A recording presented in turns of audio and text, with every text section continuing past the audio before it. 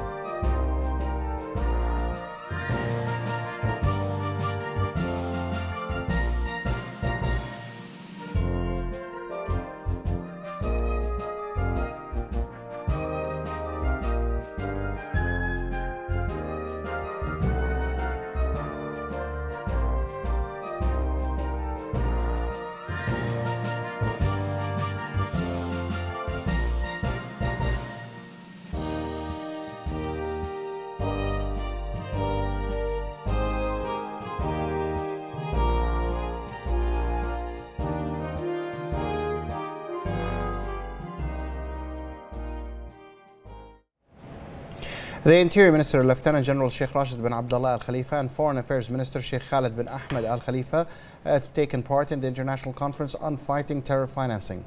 The conference was held by the Organization for Economic Cooperation and Development, OECD, in Paris under the title theme No Money for Terror, which was also attended by the French President Emmanuel Macron, ministers and experts from various countries, and the institutions and organizations concerned. The meeting aimed for concerted efforts to continue to combat terrorism in view of the new developments in the modus operandi and strategies of terrorist groups, including the creation of new ways to finance terror. After the opening speeches, the meeting was held in the form of a roundtable. The Interior and Foreign Ministers took part in the first session entitled Where Does Their Money Come From? Tracking Terrorist Networks and the second session entitled Blocking Terrorist Financial Flows, the Next Step. The Interior Minister, in a speech, informed the participants about the terrorist activities witnessed by Bahrain in the last few years and the UN member state responsible for it, Iran. He said that in 2015, for reasons linked to violations of banking laws, the Central Bank of Bahrain had to place the Future Bank, which operated in Bahrain under its administration. It was proven that it worked as a terrorism financing center. The Interior Minister said that investigation discovered that Future Bank's management was involved in the following violations. Laundering $4.7 billion through wire stripping SWIFT messages, laundering $2.7 billion through an old method of interbank messaging using hard one-time codes and physical delivery, granting international business loans issuing letters of credit and trade finance guarantees, as well as other activities worth $1.5 billion that violated the international law and dispersing funds through illegal means in Bahrain to strengthen the Iranian influence in the country. He added that this amounted to almost $9 billion discovered within a few months by banking inspectors. He also highlighted his support to the formation of the International Counterterrorism Financing Center in Saudi Arabia and looked forward to cooperate with the institution. He concluded that for the completion of the counterterrorism agenda, work should be through two paths. The first is fighting terrorism financing, while fighting extremism should be the priority. In the same context, the Interior and Foreign Ministers attended the third session on fighting organized crimes and to dry up the sources of terrorism financing, and the fourth session on fighting them with more active methods. The foreign minister, in his remarks, spoke about Bahrain's long experience in fighting terrorism financing, its successes in stopping suspicious financial transactions, and its readiness to pass its experiences on to friendly countries, and said it would continue to coordinate with all countries and international organizations to eliminate the issue. He added that Bahrain was among the first countries for making a call to fight terrorism financing and had held an international conference in the subject in Manama in 2014. He stressed that Bahrain had been dedicated to fighting the dangerous phenomenon through drafting and developing its laws to meet the international laws and norms and by exchanging information with friendly countries to check the risks posed by terrorism and its financing. He added, Bahrain wasted no efforts to cooperate and coordinate with the friendly countries to exchange the relevant expertise. At the end of the conference, the French president asserted in a speech that Daesh and Al Qaeda are the two corners of terrorism, adding that the current battle against terrorism is a field one and an approach should be determined to dry up the sources of terrorism financing. And along the sidelines of the International Conference on Combating the Financing of Terrorism, the Minister of Interior met with his French counterpart, Gerard Collomb. The minister expressed his thanks to the French Interior Minister for his invitation to attend the important international conference. He also discussed the topics discussed by the conference and the importance of strengthening international efforts to combat the financing of terrorism. And the Interior Minister also met President and Vice President of the French Bahraini Friendship Society and held a meeting with Senator Jean Bizet to strengthen relations between Bahrain and the GCC countries and the French Senate. During the meetings, the Interior Minister asserted the importance of counter-terrorism efforts hoping France will be able, through the taken measures, to fight terrorism and its financing sources, especially through the development of laws.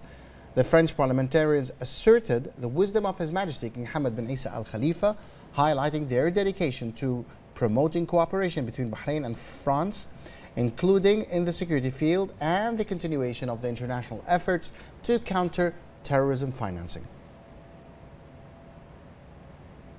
Some 500 experts and 80 ministers from more than 70 countries had gathered in Paris to discuss ways to combat the financing of Al Qaeda and Daesh at the international conference titled No Money for Terrorism. The participants issued a final statement, Paris Declaration, stating the importance of an integrated approach to combating terrorism and its financing with the protection of joint efforts to fight terrorism financing. They affirmed the commitment to stop the funding of individual terrorists and terror groups that are linked to Daesh and Al Qaeda. A number of measures have also been adopted, including the strengthening of the domestic legal and operational framework for the collection and analysis of information by national authorities. The Minister of Information, Mr. Ali bin Mohammed Al Rumaihi, participated in the 19th Arab Radio and Television Festival hosted by Tunisia from the 26th to the 29th of April. He was honored in the opening ceremony with the Arab States Broadcasting Union ASBU's shield in tribute for his efforts to boost pan-Arab media work. He also took part in honoring prominent Arab figures in media in recognition of their active contributions to developing the media and telecommunication sector in the Arab world. The information minister met on the sideline of his participation in the festival with the Tunisian culture minister Mohammed Zain al-abidine and thanked him for the distinguished organization of the festival, which is considered as a major achievement for Tunisia. They also discussed bilateral cooperation in various fields. The information minister also met the Grand Mufti of Jerusalem and the Palestinian territories, Sheikh Mohammed Hussein, and underlined Bahrain's unwavering stance in supporting the Palestinian issue. A ceremony celebrating Bahrain's long-standing heritage opened yesterday under the patronage of Her Highness Sheikha Lulwa bint Khalifa Al Khalifa, daughter of His Royal Highness Prime Minister Prince Khalifa bin Salman Al Khalifa. The Children and Mother Welfare Society is holding the event under the theme Bahraini Customs and Traditions at its headquarters in Isa Town. The event featured many activities in addition to folklore songs that reflect Bahrain's deep-rooted culture. Her Highness Sheikha Lulwa hailed Bahrain's long-standing heritage, commending Bahraini society's keenness on preserving its culture and traditions. She stressed the importance of such an event, which she said highlights Bahrain's authentic traditions and informs the new generations about their fathers' and forefathers' heritage and consolidate the national identity. She stressed the importance of conserving heritage, paying tribute to His Royal Highness the Prime Minister for his directives to preserve Bahraini traditions and passing them down the generations so as to further bolster national identity. The Children and Mother Welfare Society chairperson, Sheikha Hind bin Salman Al Khalifa, thanked Her Highness Sheikha Lulwa for the patronage, hailing her keenness on supporting the educational institutions, Majid al-Zayani Quran Center, and other activities and programs. Her Highness Sheikha Lulwa bint Khalifa Al Khalifa received a commemorative memento from Sheikha Haya bint Ali bin Abdullah Al Khalifa. A dinner banquet was then held at the invitation of Her Highness, the daughter of His Royal Highness, the Prime Minister.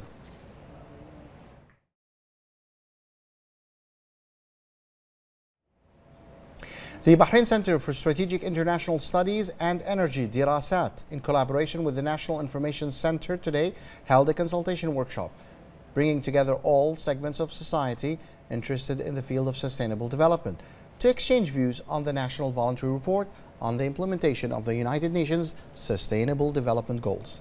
The Ministry of Foreign Affairs Under Secretary for International Affairs and Chairman of the Board of Trustees of Dirasat, Dr. Sheikh Abdullah bin Ahmed Al Khalifa stated that the consultation workshop will serve as a truly collaborative platform for the exchange of ideas, in addition to further enhancing citizens' participation in the kingdom's comprehensive development. The Deputy Chief Executive of Statistics and Population Register at the Information and E-Government Authority, Dr. Nabil bin Mohammed bin Shams, stated that the establishment of the National Information Center, formed under the chairmanship of the Minister of Cabinet Affairs, will do much to boost the sustainable development. The resident representative of the United Nations Development Programme UNDP in Bahrain, Amin Al-Sharqawi, praised the measures Bahrain has taken to incorporate sustainable development into its programs and celebrated the opportunities available to citizens to have their aspirations for sustainable development reflected in the voluntary report. Dr. Sheikh Khalid bin Khalifa Al Khalifa chaired yesterday the first meeting of the Board of Trustees of the King Hamad Global Center for Peaceful Coexistence.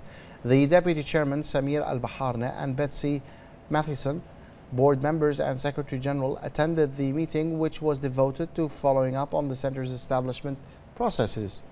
The board members lauded the support of His Majesty King Hamad bin Isa Al Khalifa to the center and his efforts to consolidate coexistence, tolerance, and peace across the world which they said will reflect positively on the center's activities and programs. The meeting discussed the center's upcoming establishment phases so as to implement its social, intellectual, scientific, and media goals. The meeting also discussed the center's upcoming activities and events in which the center will be involved at the local and international levels. Those activities aim to disseminate the principles of coexistence, tolerance, and peace, as well as promote the center's message to the world calling for consolidating openness and moderation as an integrated approach. The Board of Trustees approved the inauguration of the King Hamad Kingdom of Bahrain Declaration Platform as the center's maiden event. Gulf Air celebrates the delivery of its first Boeing 7879 Dreamliner, the first aircraft in the carrier's new livery. More details in this report with Yasmin Ibrahim. Gulf Air celebrated the delivery of the first 787 Dreamliner for the national carrier of the Kingdom of Bahrain. The delivery is a historic moment for Gulf Air and Bahrain, and yet another important step in the kingdom's strategic direction towards furthering Gulf Air's fleet modernization process, supporting the network and the overall passenger experience enhancement strategies.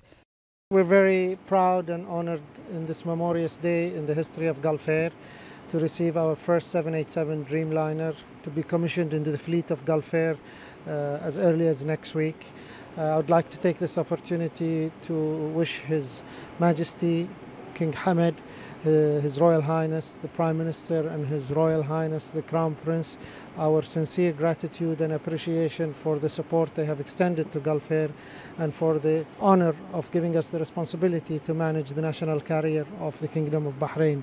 Uh, Gulf Air uh, carries the flag of Bahrain around the world. Uh, we have a responsibility not just to promote the airline but to promote the nation. Uh, and with the growth of Gulf Air, we think we'll play a vital role in promoting tourism, uh, business, uh, industry, and connectivity to the rest of the world. The 787 Dreamliner applies breakthrough technologies to an all new airplane design. The advanced features of the 787 increase efficiency, simplify airplane ownership and operation, and significantly improves the air travel experience. Well, this is indeed very uh, historical moment, both for the uh, Gulf Air and the Kingdom of Bahrain. This is the most sophisticated aircraft at the moment in the world, and uh, it features 26 uh, business class Falcon Gold seats and uh, 256 economy, which is both. This is basically premium economy class according to the industry standards. We have the biggest pitch and the biggest screen. Same goes for uh, our Falcon Gold. It's actually first class seat. About according to the old industry standards, it's 89 inch. It's it's a it's a 23 uh, inch uh, uh, monitor, and the, the, but what is most important of all the experience of flying is so relaxing, so comfortable. This flight is, I mean, this is uh, uh, this year is year of change, and uh, this is uh, this flight and this uh, aircraft is beginning of realization of our all main strategic uh, goals, which one of them is very important to us, and that is to be best in class. Gulf Air joins the growing number of airlines operating the 787 Dreamliner across the Middle East and is to take on the delivery of four more Dreamliners this year. Reporting for Bahrain International, I'm Yasmin Ibrahim.